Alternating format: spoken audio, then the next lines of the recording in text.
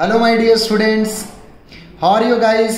I hope your preparation is going very well, guys.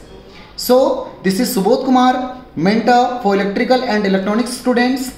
I am coming live on 13th of January at 5 pm to revise all the concepts and formulas of electronics devices and circuits, guys. Okay, so be ready to revise all the concepts and formulas for EDC on 13th of January. Thank you, guys.